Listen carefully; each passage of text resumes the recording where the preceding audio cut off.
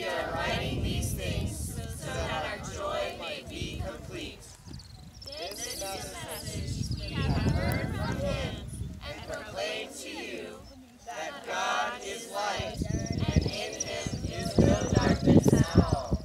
If we say we have fellowship with him while we walk in darkness, we lie and do not practice the truth. First John